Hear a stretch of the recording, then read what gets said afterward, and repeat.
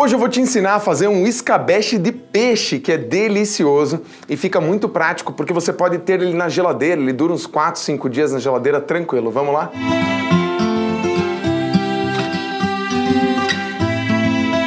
Olá, tudo bem? Eu sou o chefe Guilherme Guzella e hoje eu quero te ensinar a fazer um escabeche de peixe. O peixe que você vai utilizar você que vai escolher. Por exemplo, aqui eu tenho uma pescada, mas você pode fazer com namorado, pescada, até dá para fazer com tilápia, mas a tilápia é um pouquinho mais é, é, sensível, é um pouquinho mais difícil. Mas é, dá para fazer com linguado, com cação, com vários tipos de peixe. É você que vai escolher o peixe aí da tua região. Aliás, já aproveita e comenta aqui para mim qual que é o peixe mais comum aí, baratinho na tua região para fazer esse tipo de preparação, porque de repente me dá ideias de fazer outras receitas por aqui. E essa receita é uma receita bem gostosa e prática, que você pode servir ela morna, quente, fria. Eu gosto mais dela fria, porque eu gosto de deixar ela curando, ela aprimorando o sabor por pelo menos um a dois dias. E aqui a gente vai começar, ó, o peixe já está aqui, eu vou deixar ele de ladinho aqui, mas a gente vai começar preparando o refogado que vai dar sabor. Por isso, ó, deixa eu roubar uma panela aqui do cenário, não caia Smurf, fique aqui. Aí, ó, nosso Smurfzinho cozinheiro e a gente vai começar a nossa preparação. Eu vou aquecer bem essa panela e daí a gente vai começar a fazer um refogadão. Ele tem que refogar, mas também não pode ficar cozido demais, porque a gente quer eles ainda crocantes. Então segura aí que a gente vai refogar. Frigideira quentinha, meus... Ou frigideira não, né? Panela. Meus temperinhos por aqui. Uma dose aqui, ó, praticamente 60 ml de azeite e a gente vai começar a refogar aqui agora alguns ingredientes para dar sabor. Eu gosto sempre de começar com alho, porque ele vai dar. Ai, quase caiu! Ele vai dar sabor, vai ficar douradinho e não vai ficar com um gosto indesejado. Então, deixa o nosso alho na frigideira não tão quente, começando a refogar, e daí a gente já coloca os outros ingredientes. Alho começando a dourar. Agora a gente já pode colocar a cenoura, e deixar ela também começar a dar uma refogadinha para ela dar uma douradinha. Essa a gente quer mais macia e o resto a gente quer um pouquinho mais crocante. Agora deixa cozinhando. Cenoura refogadinha. Agora a gente vai entrar ó, com uma, duas, três folhas de louro. Vou colocar uns raminhos de tomilho que eu tinha aqui na cozinha. Se você não tiver, não tem problema. Ó, dois, uns seis ramos de tomilho Vou colocar agora um pimentão amarelo, picado em tirinhas, dá uma olhada como que ele fica. Aí.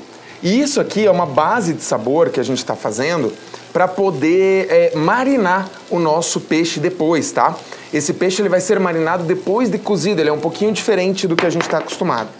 E aqui eu tenho três cebolas, três cebolas grandonas, olha lá, ó. E é bastante cebola mesmo. E a cebola vai ser um complemento desse, desse peixe. Mas lembra que a cebola refogando aqui, ela vai murchar bastante. E para ajudar a cebola a murchar, a gente coloca aquela pitadinha de sal. Se quiser colocar mais um pouquinho de azeite, tá ótimo. E aqui a gente vai continuar refogando por mais ou menos aqui uns 8 a 10 minutinhos. Então, segura aí, deixa ele refogando, não mexe o tempo inteiro, faz que nem eu tô fazendo, ó. Homogeniza bem agora e daí depois você vai deixar parado por um tempo, deixando ele cozinhar. Aí ele vai pegando o sabor e ele vai dourando um pedacinho do fundo, mas a gente ainda quer um pouquinho de crocância no final. Então, ó, deixa aí, deixa cozinhar. A gente já volta. E pronto, olha lá, ó. Dá pra gente já desligar. Aqui já tá em ordem. Hum. Eu não quero ele muito mais murcho do que isso, porque essa cebola, esse pimentão, eles vão servir para fazer camadas na nossa preparação.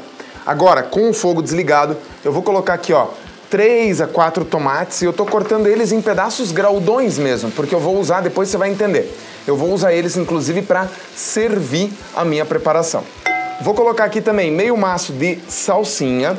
Se você quiser usar coentro, cebolinha, fique à vontade, fica gostoso. Todos eles ficam gostosos. E aí, para finalizar, a gente precisa colocar aqui ainda azeite e vinagre. Só que o azeite eu vou colocar lá no final. Por quê? Vai uma quantidade até razoável de azeite, ele quase chega a cobrir o peixe. Mas o vinagre eu já posso colocar já. Eu tenho aqui vinagre de maçã, eu tenho 250 ml de vinagre de maçã. Deixa ele aqui, que ele vai trabalhando esse sabor. E daqui a pouquinho eu vou colocar aqui também o depois que ele esfriar, eu vou levar isso aqui já para geladeira e vou deixar isso aqui esfriando.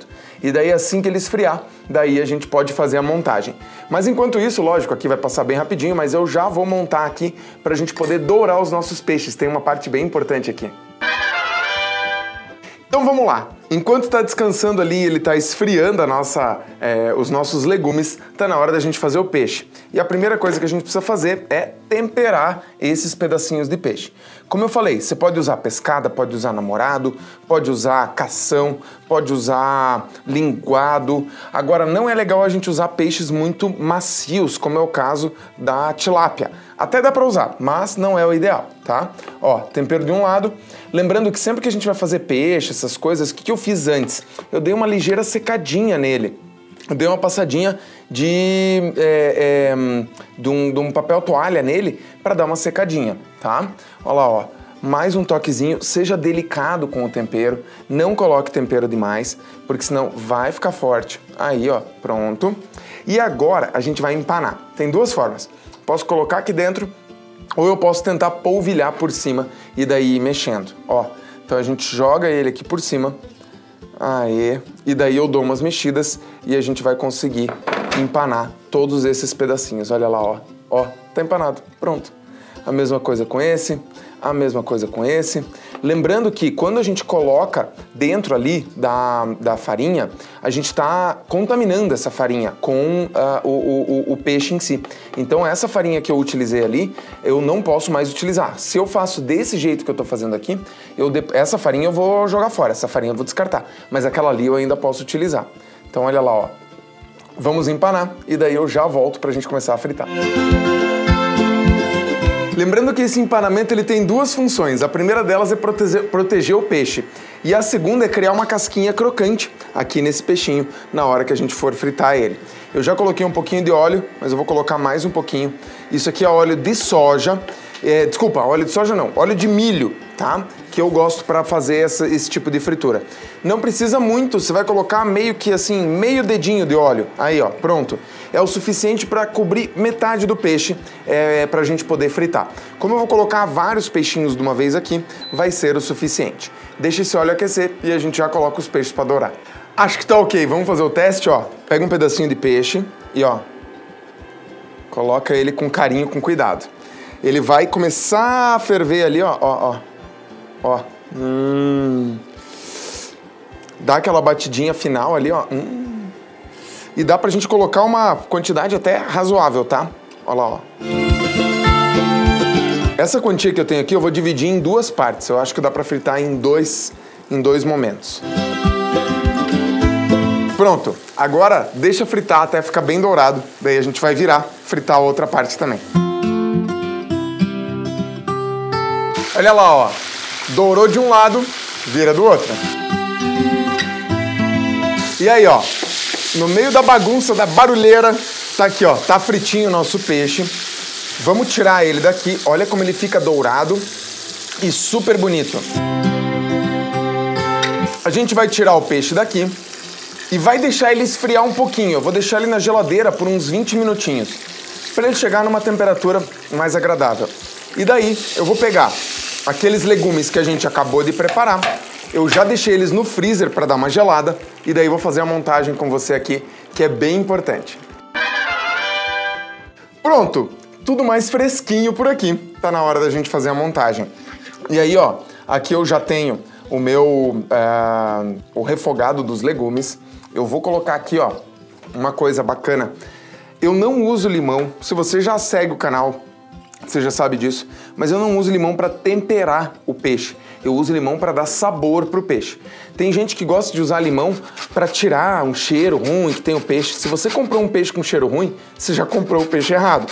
O peixe tem que ter cheiro gostoso, cheiro de mar, cheiro fresco. Eu coloco limão como tempero. É diferente, não é para tirar cheiro, tá? É para dar sabor. Então, ó, eu tô colocando aqui, ó, a raspa de meio limão siciliano e Vou colocar também, aí foi, e vou colocar também o suco, porque o suco vai ter sabor também. Aí, segura com a mãozinha aqui, ó, pra não ir nenhuma é, semente. Se tiver uma peneira também pode ser. Mas olha lá, ó. Espremido, suco de meio limão. E as sementes ficam na nossa mão. Olha lá, ó. Pronto. Tudo pro lixo. Aí.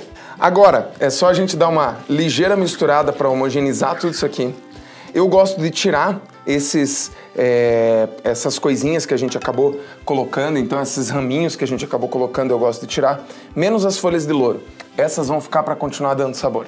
Agora esses aqui é bom tirar porque daí fica mais fácil da gente comer depois, tá? Aí e pronto, agora a gente vai montar a nossa preparação. Lembrando que eu não falei isso para você até agora, mas isso aqui é uma preparação bastante tradicional italiana também. Chama insaor, que é esse tempero mais é, ácidozinho que a gente está fazendo. Então, olha, a gente faz uma caminha lá no fundo com os nossos leguminhos para o peixe entrar em contato. E a gente vai colocar peixe ali em cima, ó. Pode colocar um bem quase coladinho com o outro, olha lá, ó não tem problema. E a gente vai fazer camadas de é, legumes e peixe, legumes e peixe, para que ele vá pegando esse sabor. Olha lá, ó, pronto. Agora, legume e mais uma camadinha de peixe. Se você tiver uma superfície mais retinha, é mais fácil até de montar. Eu aqui só tinha essa aqui, então eu vou montar do jeito que a gente está conseguindo aqui. Ó. Pronto. Agora vai o resto dos uh, itens que a gente tem aqui. Posso, inclusive, já virar tudo para lá. Pronto. É pesado essa panela. Aí, ó. Espalha bem por cima. Com as mãos bem limpas. Não tem problema você colocar a mão aqui. Aqui. Aí. E aí a gente vai regar com um pouquinho mais de óleo. Aqui, de azeite de oliva. Mais ou menos aqui uns 150 ml de azeite de oliva. Pronto. 150? Agora foi 150. Muito bem. Quase 200. Tá pronto. Isso aqui vai para a geladeira. E na geladeira ele tem que descansar por pelo menos aqui umas 12 horas para a gente poder comer. Daí você pode comer tanto os legumes quanto o peixe, tudo junto. Então eu já vou te ensinar por quê. Essas 12 horas aqui vão passar super rápido e eu volto daqui a pouquinho para te mostrar daqui a pouquinho assim, ó, no instalar de dedos, para eu te mostrar como que a gente vai comer, tá bom? No dia seguinte, e depois de deixar de molho aqui, ó, por mais ou menos um diazinho, eu ah, já posso abrir, ó. Hum, e tá pronto o nosso escabeche. Claro, você não pode deixar isso aqui eternamente, mas deixar ele de molho aqui uns diazinhos, ele vai fazer muito bem. Um, dois dias, vai, é o suficiente. E aí você pode pegar, ó, os pedacinhos de peixe. Hum, olha aqui. Nossa. Pera aí. Aqui, ó, mais um. E o legal é isso aqui, ó, você vai descobrindo os pedacinhos ali no meio. Hum, olha lá. E o legal de servir ele é assim, ó. Você coloca um pouquinho dos legumes que você refogou, coloca um pouquinho do azeitinho que tem ali dentro para você poder servir e fica bem bonitão. Então, ó, o nosso peixe é o escabeche aqui. Nossa, tá me dando uma água na boca para experimentar. Mas deixa eu dar aquela filmadinha antes e daí a gente já vai experimentar. Segura aí, deixa eu ver. E aí, se você quiser comer com um pãozinho, fica perfeito. Mas, do jeito que tá aqui, ó, ó. Hum. Esse escabeche é muito gostoso. E essa parte aqui, ó, dos legumes, nossa. Hum. É a grande diferença. E o legal dele, olha aqui.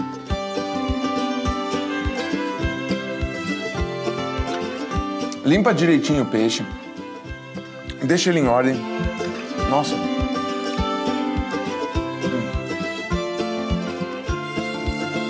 É muito bom.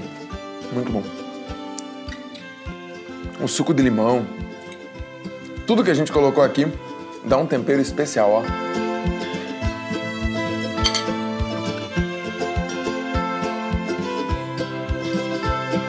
Eu tenho certeza que você vai adorar faz em casa.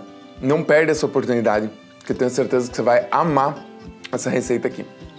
E se você gostou do vídeo, gostou da ideia, primeiro de tudo eu peço aqui embaixo, tem um botão que é o Valeu. No Valeu você pode doar algum valor aqui pro canal para que a gente continue fazendo os vídeos. Segunda coisa que eu te peço, aqui embaixo tem um outro link que é um canal que a gente tem no Telegram. Lá você pode entrar e a gente tem mais conteúdo sobre gastronomia, gastronomia por lá. Terceira coisa, se você ainda não é inscrito, você primeiro deixa o teu like, depois se inscreve no canal e por último ativa as notificações com o sininho para você não perder quando sai vídeo novo. Tem muita coisa gostosa que a gente faz aqui, tanto que tem outros vídeos aparecendo aqui na tela para que você continue aprendendo sobre gastronomia. Eu te espero no nosso próximo vídeo. Bom apetite e vai cozinhar!